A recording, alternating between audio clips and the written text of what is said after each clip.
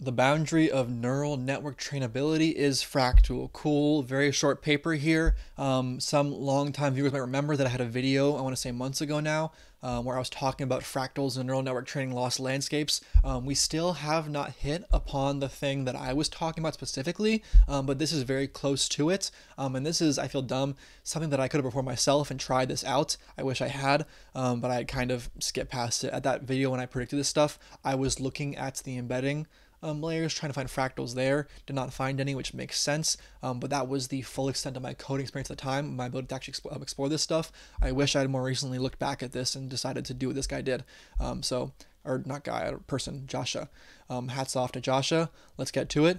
Um, so in this paper, I visualize the bif or Joshua visualizes the bifurcation boundary between hyperparameters, which lead to successful and unsuccessful training of neural networks.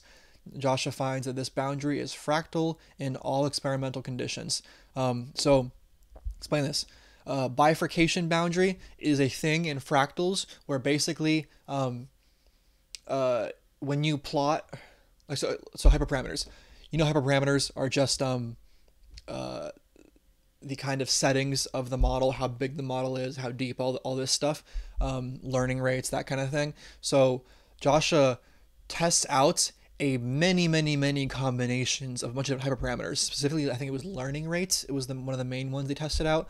Um, and then when you look at trying every single possible learning rate and every single possible, I don't know, dropout rate or whatever hyperparameter you want to, want to look at, um, when you compare these two at a very high resolution and you continuously try out different hyperparameters and train a model on each of those combination hyperparameters, um, you can then chart them out uh, into these very pretty looking graphs. Um, and you find that the boundary, the bifurcation boundary, is a thing in, um, in fractal geometry where basically here, what do we have? We have output layer learning rates on the y-axis and we have input layer learning rate on the x-axis, right? Um, and then what does blue and red, what do blue and red mean? Which one is which? Uh, Images show a 2D grid search over neural network hyperparameters. For points shaded in red, training diverged, as in did not work, it did not actually succeed. For points shaded in blue, training converged. Paler points correspond to faster convergence or divergence. Okay, uh, so let's look at this one first up. The this is a very uh, cleaner one. So what was that? I think red was diverge and blue was converge, right? And then faster is these paler areas um, this bifurcation boundary basically looks at you could say and the way this works in fractals is you can keep zooming in this bifurcation boundary and you will find just more and more complexity at the boundary. That's kind of the essence of this fractal stuff, right? And we can explore these. They're actually hyperlinks, I think. How do I? Can I go to this hyperlink? Is it not going to let me? So each image is a hyperlink to an animation zooming into the corresponding fractal landscape. Um, there's okay, there's other ones here. We'll, we'll look at the actual displays in a second. They're very pretty. What else we compare? Output layer learning rate versus input layer learning rates. We did um, some of them have full batch, some mini batch. Um, total learning rates, input layer, weight, offset. So a bunch of comparisons, right? Let's go to the GitHub and let's look at the actual visuals they have. Where was it? Is it this?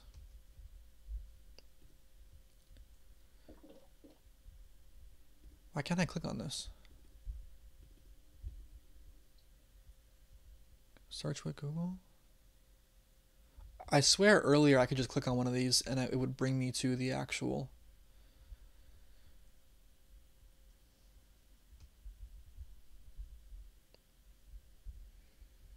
It's not working. Where do we find? I, I swear there was an easy website to get to, um, to to look at really cool visuals of this. All right, well, no visuals with paper. Um, sorry about that, no visuals, but whatever. Um, basically, it would just zoom in, and as you've seen with any kind of Mandelbrot fractal zoom, you keep zooming, and it just gets more and more complex as you zoom. Big difference here, though, is that instead of being very geometric and like ordered, um, the training landscape is very organic looking, probably due to very high dimensionality. Uh, to explore how general fractal behavior is, I perform experiments on six conditions. So the baseline, use the tangent or tan H nonlinearity, full batch gradient descent, uh, search over n naught or eta naught and eta one, aka the learning rates of the input versus output layer. This is all two layer um, feed forward networks, just very, very simple.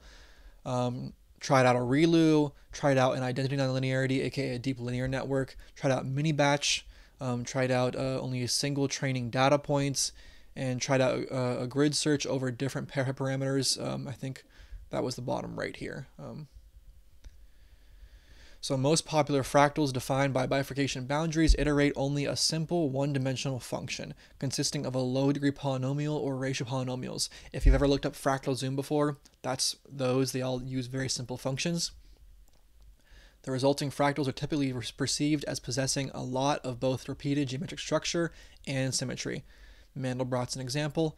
Uh, in contrast, neural network training involves iterating a complicated function with many random terms stemming from weight initialization and training data acting in a high dimensional space. The resulting fractals seem visually more organic with less repeated structure and symmetry. Uh, he decided which regions of the hyperparameter landscape to explore by hands in an ad hoc way, and the resulting images are inevitably biased. So these up here, the entire landscape doesn't look like this. A lot of the landscape is just plain converge or diverge, um, but they searched out cooler looking parts of the landscape. Some regions of the bifurcation boundary for the experimental conditions in section 2 will not be fractal. Uh, for mini-batch training, the iterated function is stochastic rather than deterministic due to mini-batch sampling. Uh, he was surprised that this stochastic function also generated fractals. So the fact that there's randomness involved and it still had fractals is very interesting. Um, without the fine multi-scale structure being corrupted by mini-batch noise, you'd think that um, there wouldn't be clear boundaries because the randomness would just melt everything together and make like a kind of a soup of divergence versus convergence. Oop, hit the mic. Um, but in reality, it still was fractal, which is pretty interesting. This is suggestive of Lyapunov fractals, which I'm not very familiar with, for which the function being iterated changes at every time step in a sequence, though in a more restricted way. Um, look more into that if you want to. I'm not going to bother. It has been a challenge to extend Mandelbrot and Julia sets to higher dimensions in a satisfying way. That challenge should not exist for fractals stemming from neural network hyperparameters. They are naturally defined in three or more dimensions. Many types of meta-learning optimi- optimized hyperparameters associated with neural network training. The meta-loss landscapes associated with neural network hyperparameters are often behaved are often pathological and chaotic, and descending this badly behaved landscape is a central challenge in meta-learning. The loss function visualized in Figure 1 can be interpreted as a meta-loss landscape. These experiments therefore suggest a more nuanced explanation for chaotic meta-loss landscapes. Meta-loss landscapes have extreme sensitivity to small changes in hyperparameters because they are fractal in those hyperparameters. So the whole meta-learning subfield, no wonder it's so difficult, basically. The best performing hyperparameters are typically near the edge of instability, and meta training seeks out this region in order to minimize the meta loss. So the actual best models will not be over at this on the left side or on the right side. The best models will actually be deep into these crevices, which is pretty interesting um, and also makes it more risky. Uh, that's about it. I want to see before we leave if I can get the actual fractal zoom to work. Where where is this thing again? Um, because I'm annoyed that I can't get that to work. Where is it?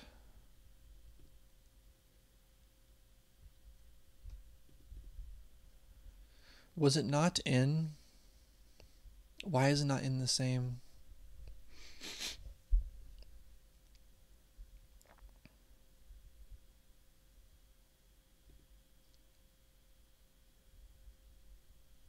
Want to go through a whole Colab right now to do all this. I swear there was an easy link. I'm so annoyed. There was an easy way.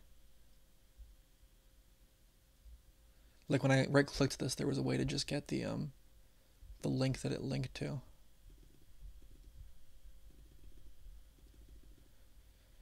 I wonder if I can find out my history. No, I'm not gonna bother with that. Anyways, I guess it's the end of the video. Um, like, subscribe, all that stuff. But uh, yeah, end of video.